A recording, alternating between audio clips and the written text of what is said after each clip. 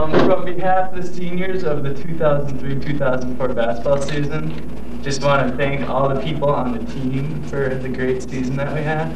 And thank the coaches, and uh, congratulations to Coach Adrich on his uh, Assistant Coach of the Year. I'd like to thank all the fans, and I'd like to thank all you parents that came over and watched us and supported us ever since we were little, and it was a lot of fun. Thanks a lot. Skippy. There you go. Um, I'd just like to thank the Hoops Club for supporting us through the years and helping us out with all the fundraising and whatnot.